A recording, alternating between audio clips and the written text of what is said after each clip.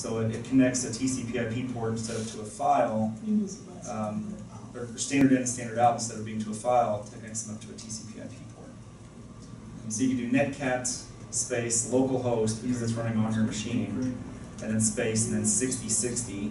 That just happens to be the port number um, that we're listening to. Okay, and local host. So now I've got network. blinky blinky LED. Right now I, I can see I can create a little bit more sophisticated program, start doing some I/O basic operations.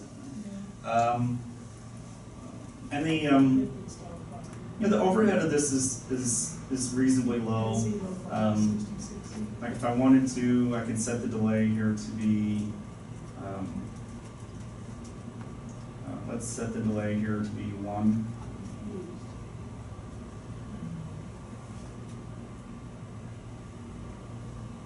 So first it starts at the half second, then it updates there, and so that's faster than you can see, right? You can tell it's on half the time, but It's a little dimmer, that's about it. yeah, because it, that, it's dimmer because it's on half the time.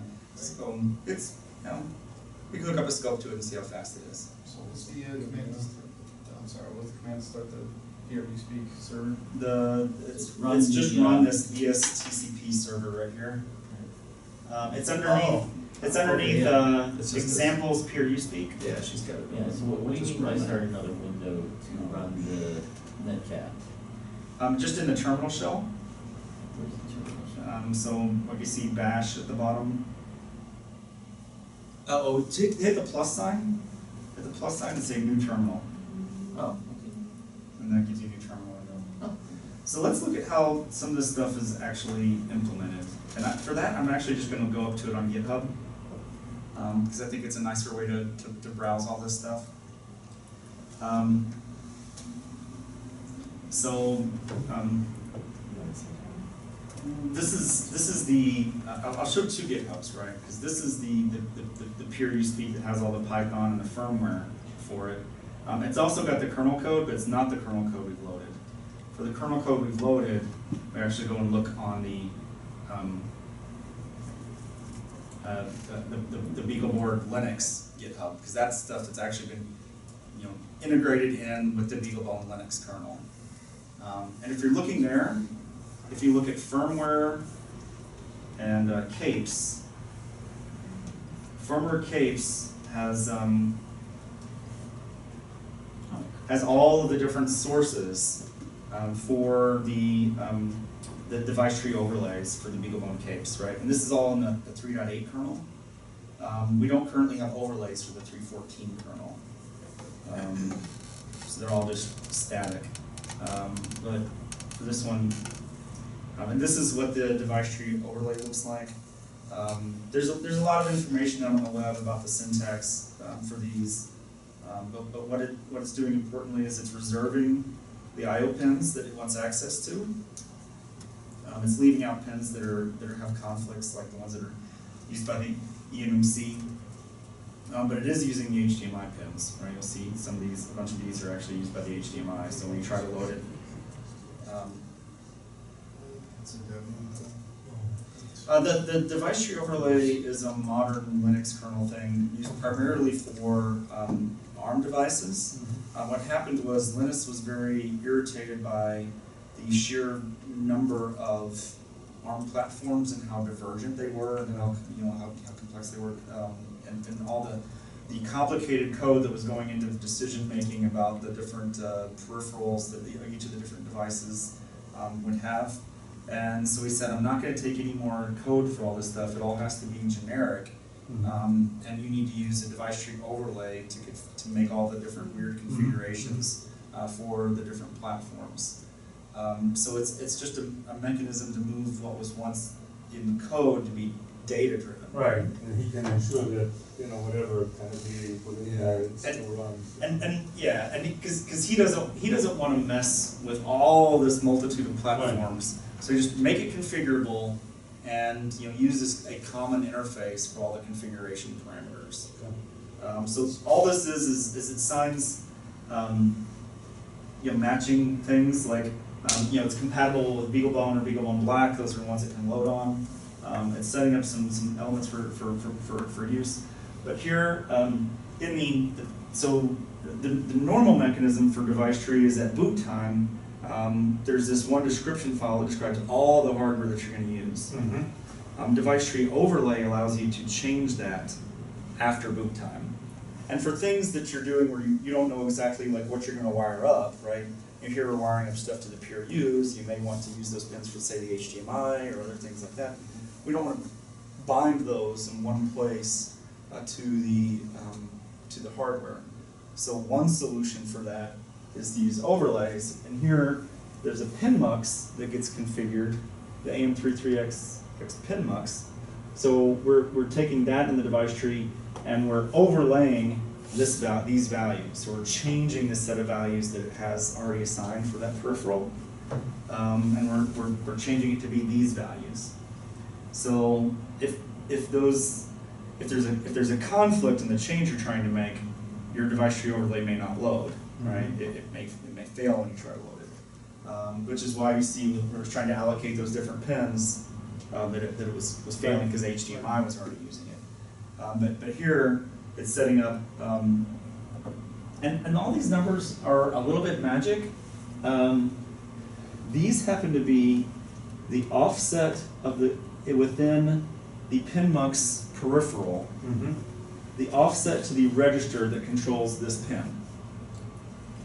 Okay. So, um, So normally you would do that at, at boot up, like if you have an embedded system, you would write Yes. that out as part of your boot up to configure the I/O registers and all that stuff. And now Exactly, you move it exactly. into the Well, because, overlay. because it, now we move it to an overlay because we want people to be able to develop a bunch of different types of Right. systems. Right, not So behind the scenes, something's interpreting this and.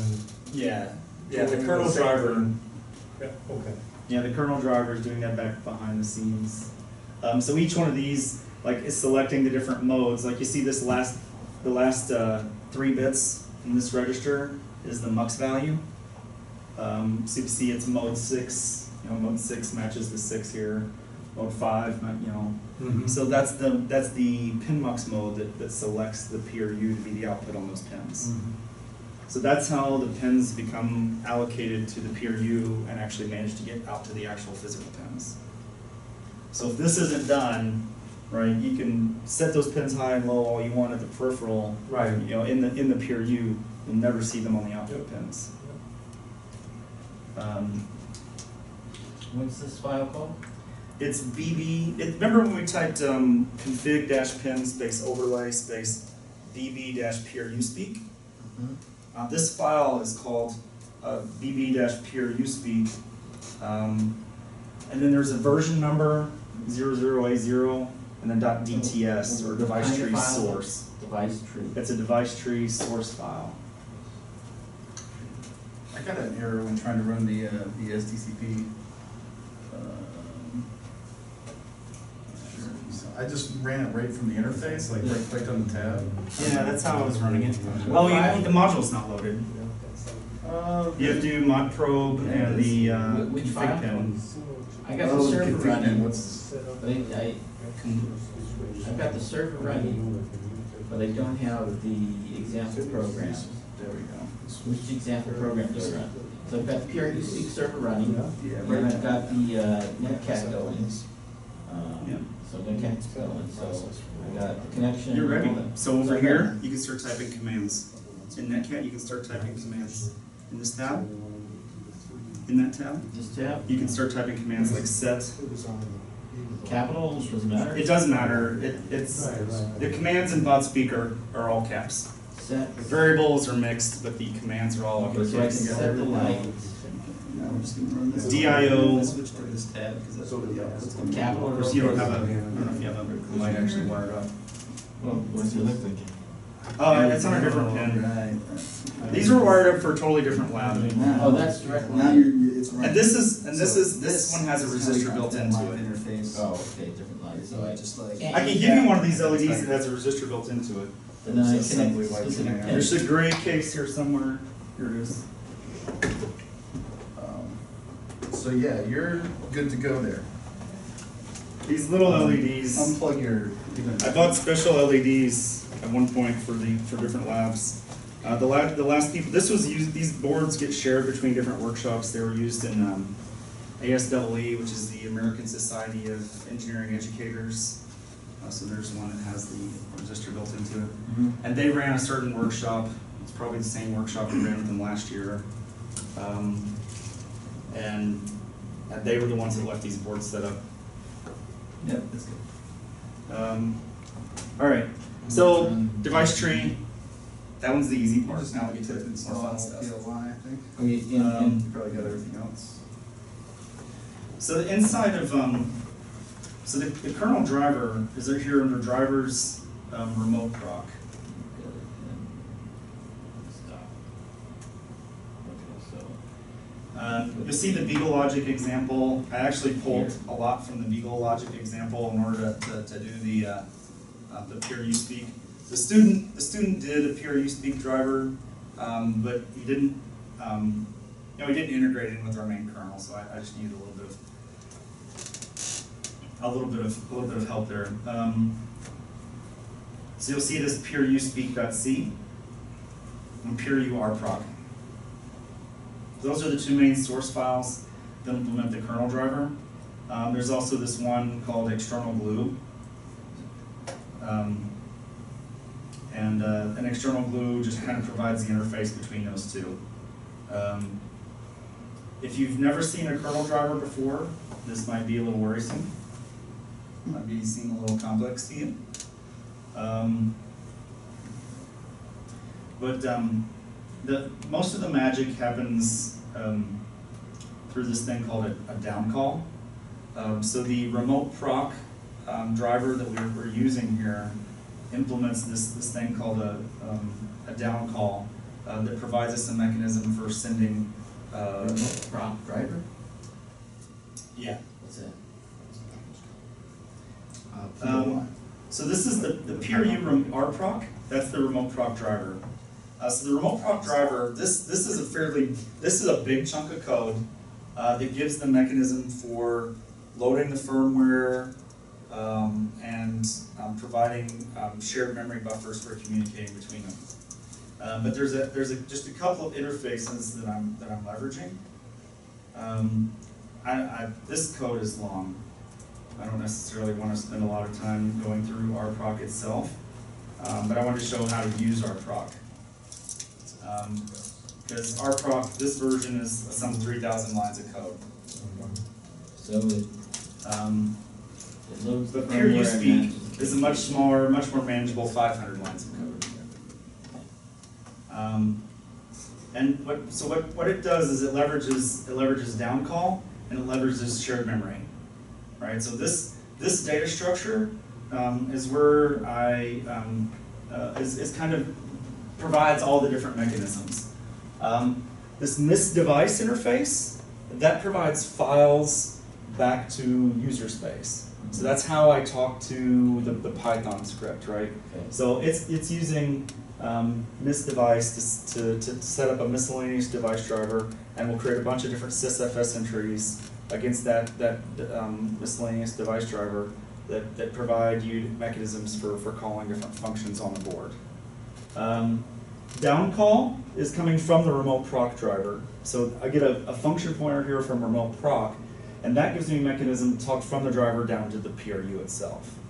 Um, so when I call down call, it's actually send, sending a, an interrupt um, down to the board. And as I said, it's not really interrupts, um, but there's a there's this you know a standard set of firmware um, in my PRU code that, that that is looking for the flag that says that there's a message and a certain data structure to, to say that you know I've got some data, and it just provides me a mechanism. So there's a there's an integer that says what the down call is, and then it can take five different 32-bit arguments. So that's the communication between the file system, the programming system, running on the CPU and the PRU.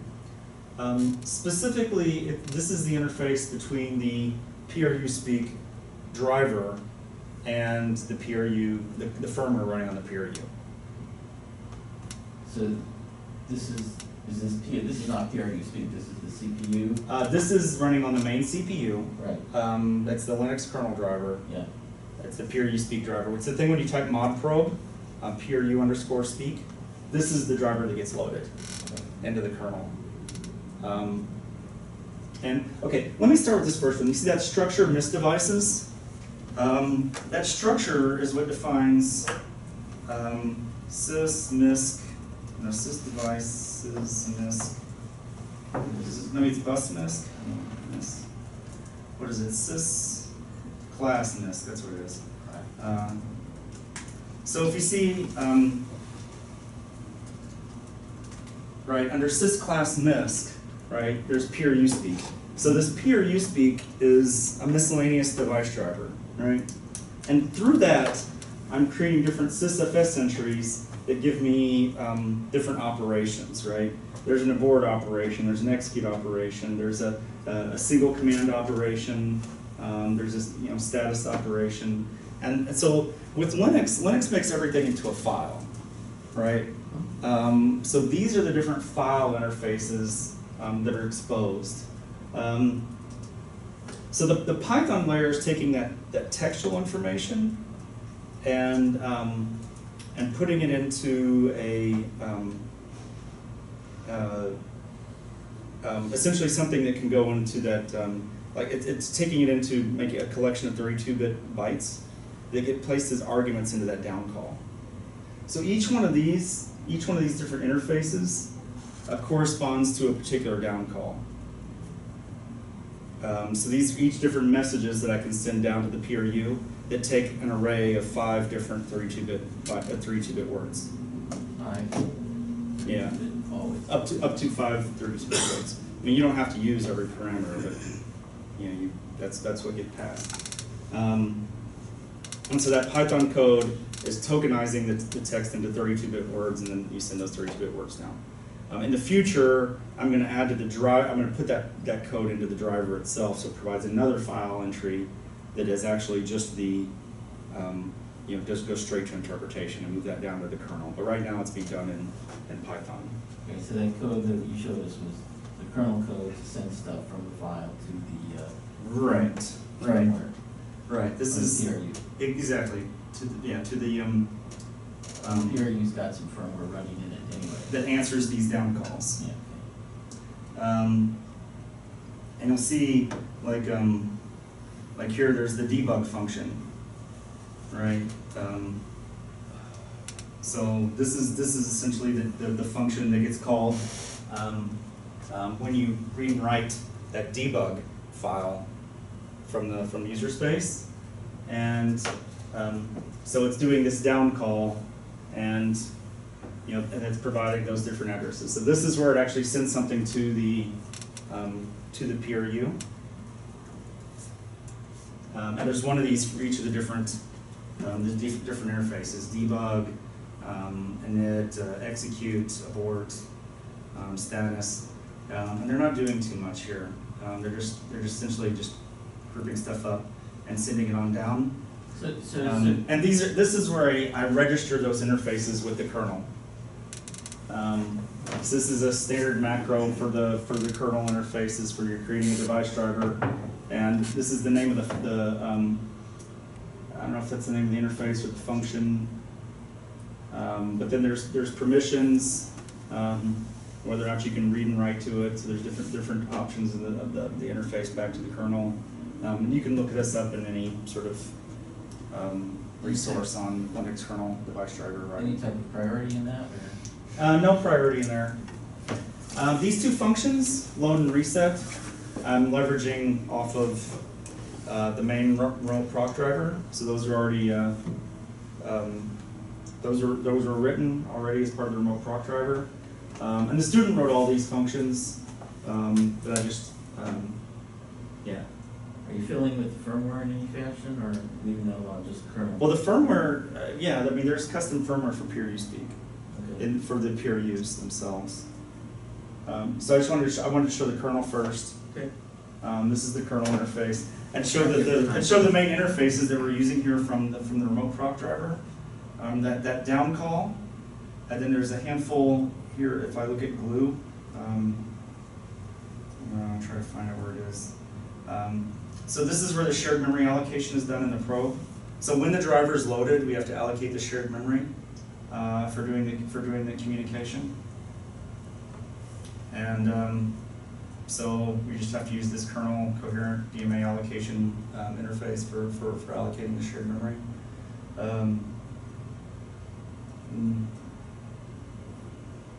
and um, so that's being used um, in two places. It's being used for like the, the down calls give me the ability to, to initiate commands down in the PRU, um, but I still need a way to get data back.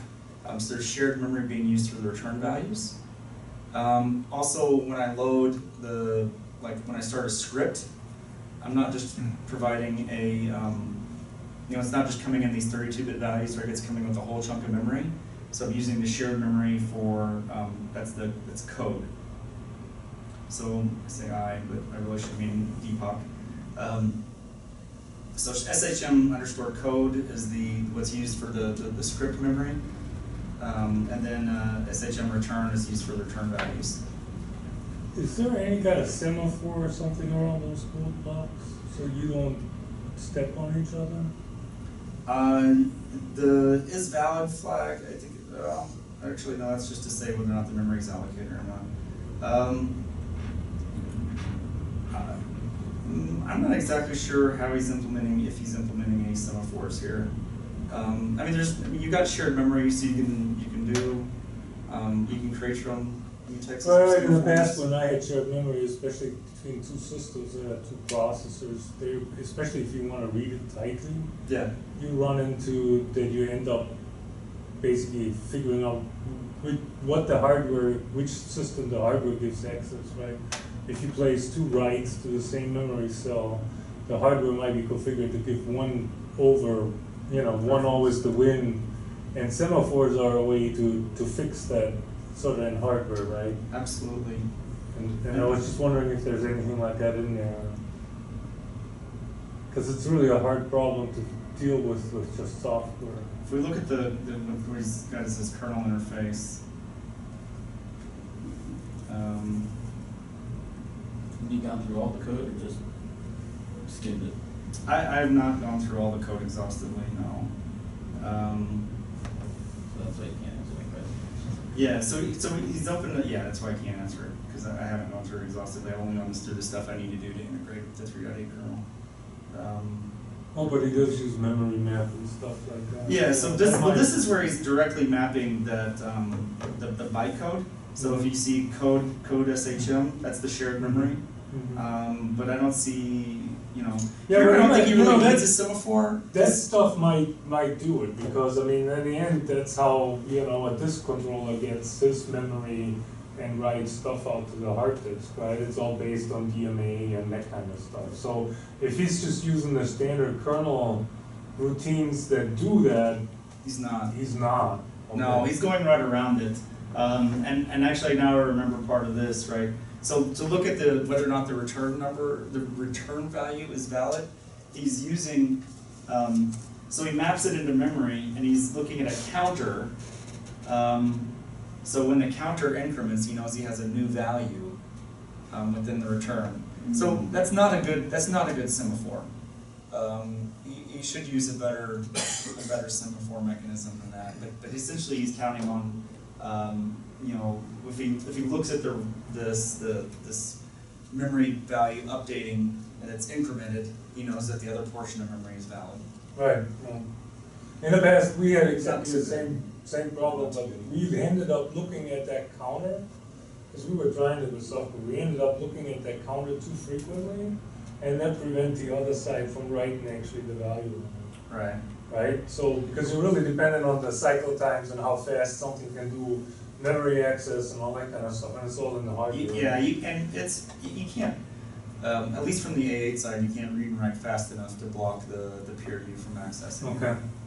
Okay. Um, So question maybe is, could you, could you do it fast enough on the PRU side to block it? I don't think so, but, um, I don't know what the memory interface priority encoding looks like. Huh.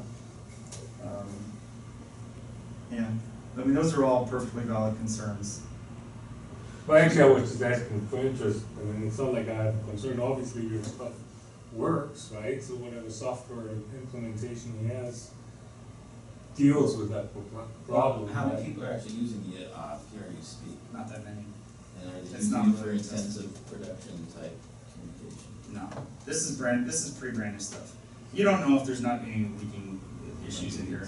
Uh, uh, but this is, this is intended really for, um, right now as a, as just kind of a, of a reference to help get you started.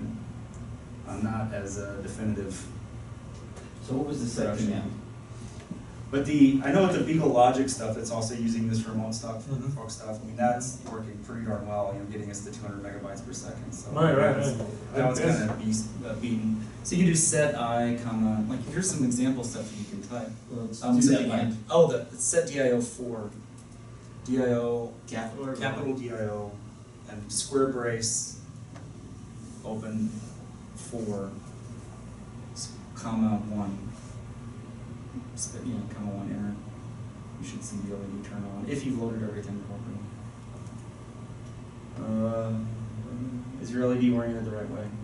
No, well, might- that might be the difference. Uh, I mean, nine times out of ten, right, it's the.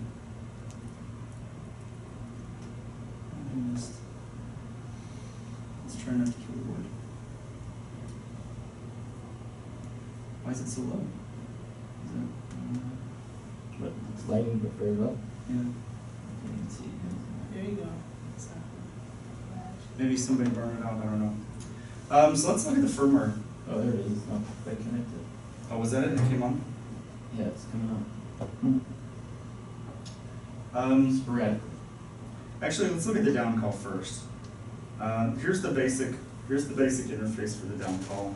So this is, if you want to use this remote proc um, driver, um, you need to have uh, this portion implemented as the, on the, um, on the PRU.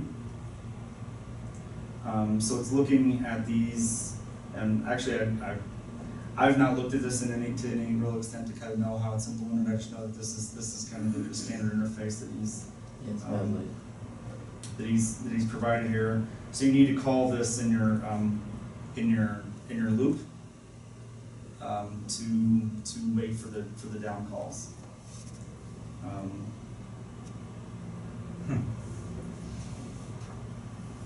And then you can implement and see the actual down calls. So.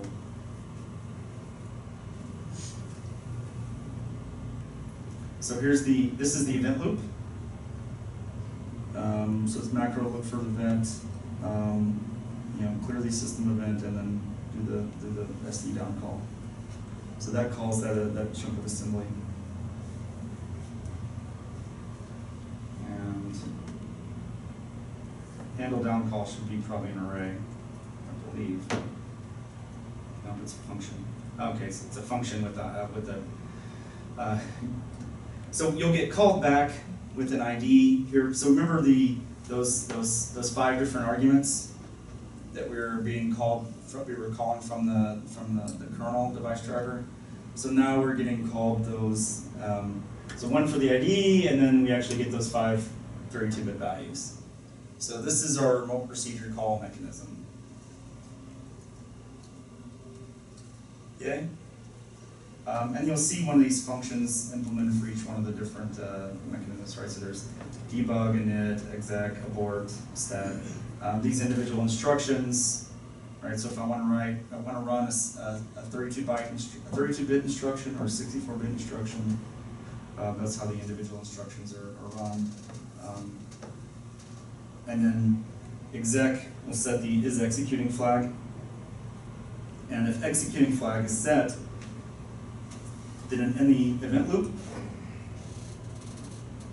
get back up here to the top of the main event loop, uh, where's the event loop? Um, That's where we started.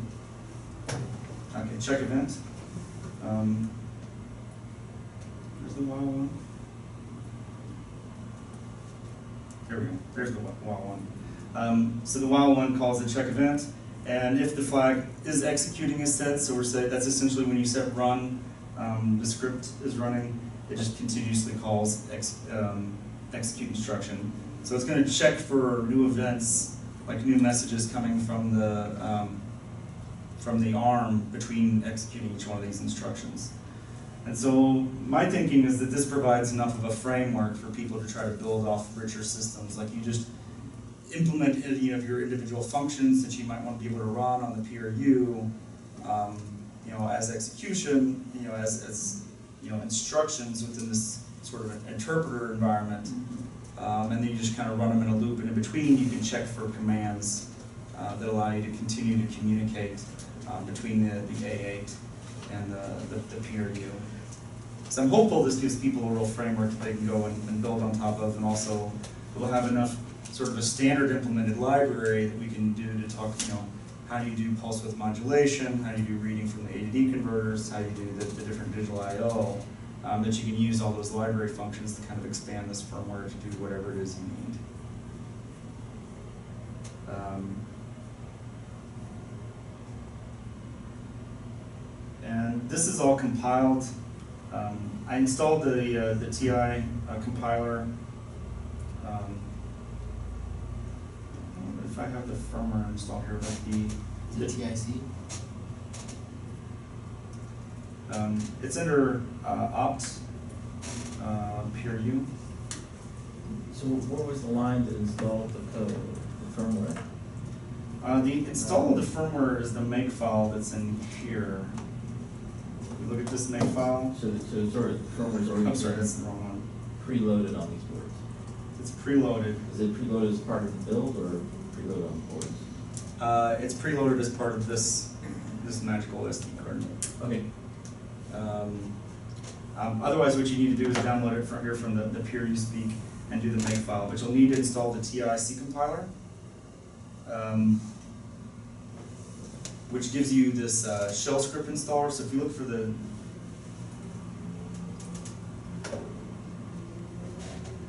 if you download the compiler, it makes you.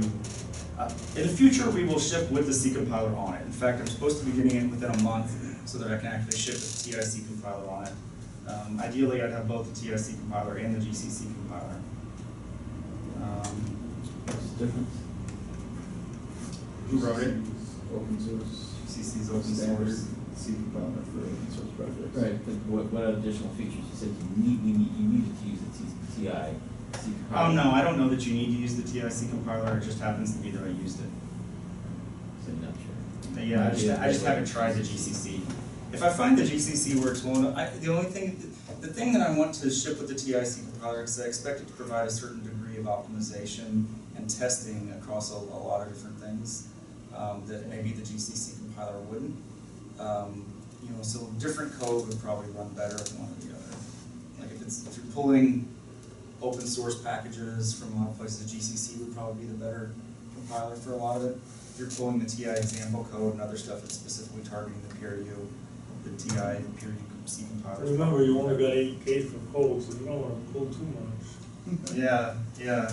And I've been talking to the, uh, the TinyG folks about porting their, um, their control system stuff to it, and theirs is in, apparently it's in C plus plus.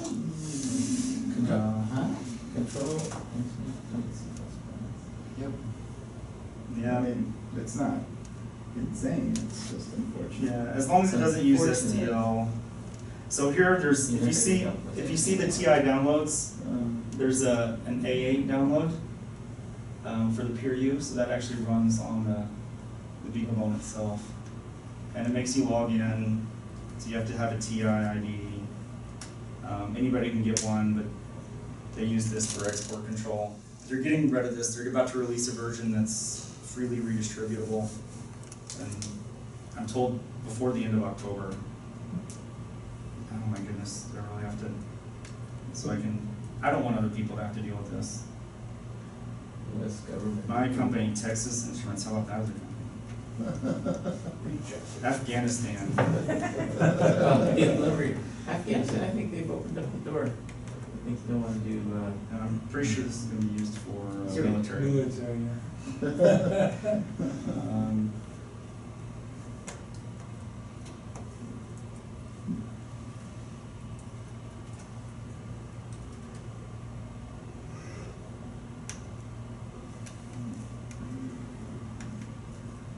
I guarantee I'm not gonna use it to create missiles.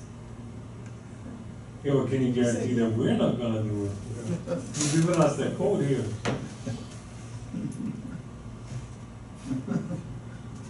Um, but what you end up downloading is this uh, shell script. Um, it's .sh file, um, and which again has another click wrap.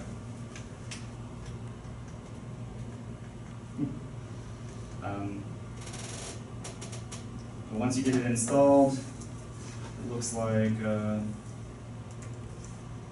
um, it, it expands in the root directory, but I just moved it into opt.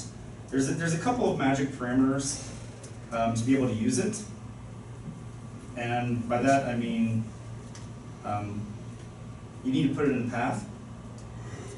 If you put it in uh, if you put it in uh, slash opt here, you know it says not in the path by default. So you need to do uh, uh, export path equal dollar sign path. Hopefully, you know, you guys know how most of you do this. But opt PRU bin, so you to put the bin in the path. And then you also need to set these variables called A_DIR and C_DIR to, um, of course, GCC uses totally different ones. Um, but that's the, um, those, that's how it finds the libraries. That's how it finds the runtime support libraries when it actually wants to link. Um, The assembly and the C code and others. yep. Yeah. And, um, but it looks like I didn't provide the firmware here to actually show a build. That's not very useful, is it? Uh, but at this point, I should be, I would just be able to type make, um, here, using this make file, right? And it uses the TI, um, let me show you the commands in the make file. Alright, so it uses the, the clpru, um, to, to perform the, the compilation, and then the LNK PRU to perform the linking. And, um, you also need this linker command file, so I recommend just copying one.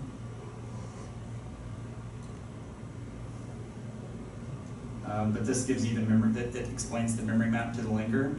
So, you know, things get, get hard linked to, to certain physical addresses. Um, so you need to, to provide that to the linker. Um, also setting up different regions, uh, for, for register maps, for peripheral register maps. Um, So, so PRU code is basically runnable code, right? I mean, loads to fixed address and it runs at a fixed address. It doesn't have any touch-ups in there anymore, that kind of stuff, yeah, yeah. from a binary file. Um, yeah, it, it does get, it gets stored in ELF. Okay, Um, so if you, um, if you, if you parse it, right, it shows you that it is, um, an ELF, um, with symbols, right, so you can, uh, right, right. so you can actually look at the sim, you can actually look at the symbol table and everything for the, in the, in the ELF file, cause it's just a, it's just an ELF file. And the, the, um, if you use the other firmware, if you use the, uh, instead of using the remote proc, if you use the UIO PRUSS, then you need to have a parser that actually parses it and, and then loads it into chunks of memory. Mhm. Whereas the kernel driver understands how to parse ELF Okay, right? Linux understands how to parse ELF binaries and just load them into their, the, do the fix-ups and, and load into the, the fixed memory addresses. And I don't think there actually are any real fix-ups, because I don't think this is a really relocatable right. code. Um, Well, I figured because you provided that linker table there, right? Because the linker's gonna do that then, right? Yeah, um, but I mean, just, the linker may provide symbols to still be resolved at, at runtime, but I forget what NM tells you, like, what NM tells you, I think, what symbols are actually still need to be resolved, but I, I don't think that any symbols need to be resolved at load time. Well, Um, since you provided, you, you showed us the firmware, right? It's not like it's a huge operating system that has, you know, millions of clauses you can make. Yeah, there's no-. It's it's basically just a, a basic Wow. piece of code that's running on the PRU. Exactly. So, yeah, this is your whole firmware right here firmware, PRU zero firmware, then it also links in the syscall. Um, this is the disassembly, right? So when you when you um, when you build it, you can look at the uh, um, the annotated this like the the dis well this this looks like the I don't know if this I don't know if you ran the disassembler or if you ran the um, you because you can have the C generate annotated C Mhm. um, the C compiler. Um, so it'll actually produce an assembly listing that's annotated with the C code, the, the C code itself and generated. Um, so you can look, this is the actual PRU assembly code. That's what the second column is the machine code. Yeah, that's the, that's the machine code right there. The, the offsite, offset byte, the machine code, um, and then the mnemonic. And you see, the, the PRU assembly isn't too, too bad. Um, you know, um, I don't know exactly what LBBO means, but, uh, LSL or those well, LSL is left shift left, right? So you have and, uh, I'm sure that's, that's some sort of store operation, that's some sort of load operation. Um, but it's like doing some selective loads. Uh, uh, Q, that's, two um, that's branch not equal. Um, but Q, uh, so that, that- that's some sort of, that's a, that's a decision. Load byte burst. That's Ah. LBBO. Right, And so, So you can actually load a series, so you can actually load, it's probably loading four bytes at a time, right, through the four. Yeah, you can. And you can load registers, like, because you can load, um, so that may just, like, that may just be loading a single register, but you can actually load like a series of like four registers from memory, one after another. So it'll, it'll inc- automatically increment if you, so you can, you can fill your register array with a, with an array from memory. Um, It's, it's, a- it's a pretty nice little assembly language. There's a note to that you shouldn't use a register count of zero because it will hang with you.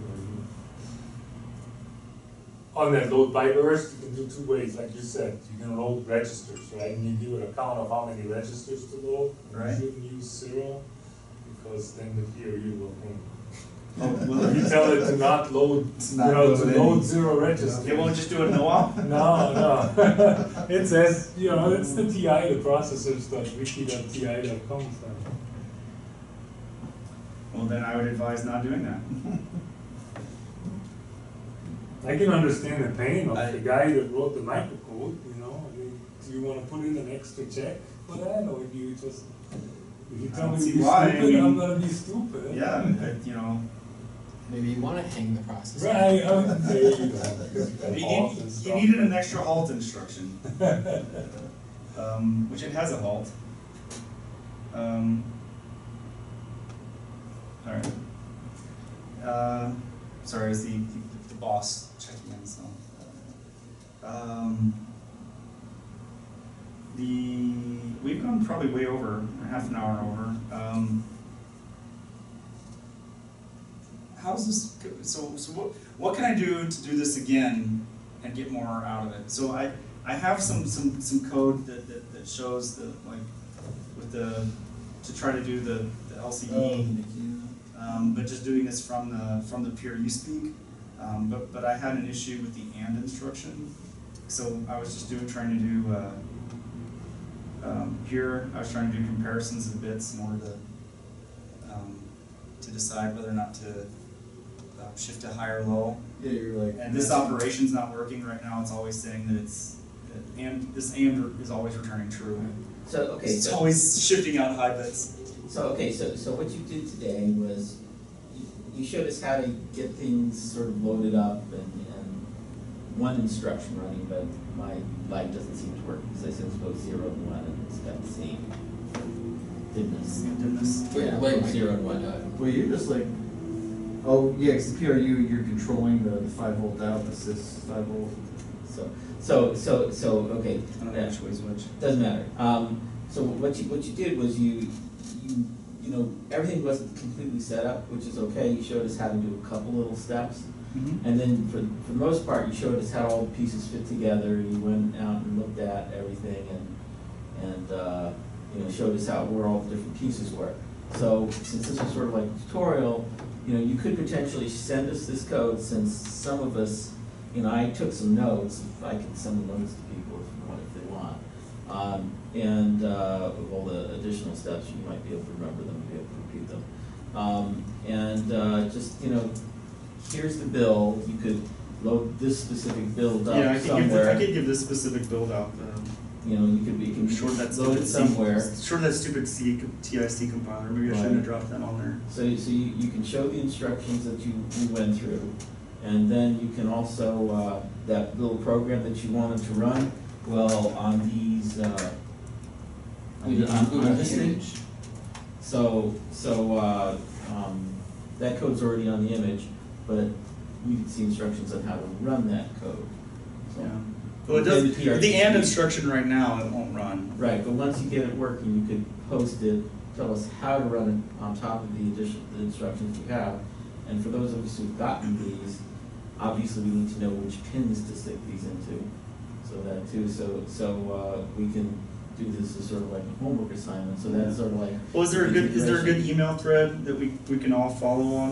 Um, I don't know if it's, You can Meetup? post it to the meetup, what, with Okay. like a, a link to the instructions or something. okay, well, as, ev- everybody's on, signed up on the meetup, right? Yeah, yeah. All right, we'll And- follow up on the meetup and And then for those who wanna get it, you still have more of these, right? Yeah, yeah, if you want We've got the, some at three too. yeah, I've got, I've got several more of these little L- the LCD displays. So those of us who wanna take it as homework. Yeah, I was thinking that, um, either a handout or a text file that you could access, so that if, like, if we fall behind on the, um, like, for me, I, I was a little bit behind because I got my IP address later and everything, so it'd be nice to be able to follow through the command without interrupting. um, Put that either on the meetup This is or nice GitHub or tutorial. something. Right, well, if you're doing another class, you could have either a piece of paper that has the commands, yeah. or have it as a part of the image as a text file, so you have that text Yeah. file, so you have the step by So step. maybe I can put it, in- put that text, so why don't, why don't I clean up the image a little bit based on some of the feedback here? Um, maybe fix the bug. The Python library. Um, yeah, get the, with a firmware source. Um, Some instructions. Yeah. Don't, don't vary too much from what you've already done here, because we saw that, so we sort of have an idea, and it's good for us as people who are trying to learn it, to do some of the steps, so, you know.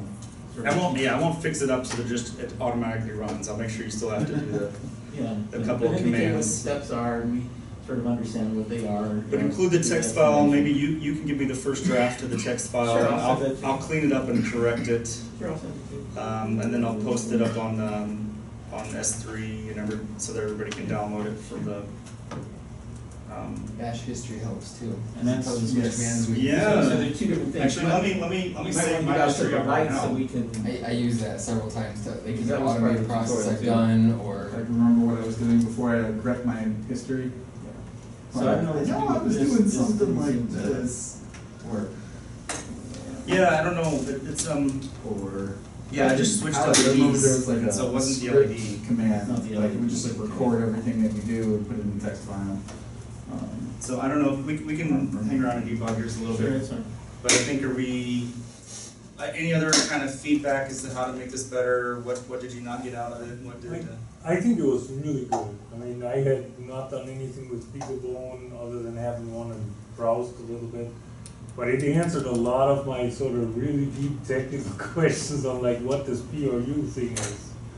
Um, the next thing that I would do, and that's just me, is I would try to figure out how to do like what you said, access the A to D converters or something. Because like my goal is getting some sort of PID loop or whatever running, and I would need analog input, right? Uh, But that's, you know, not to say that what you presented here wasn't enough.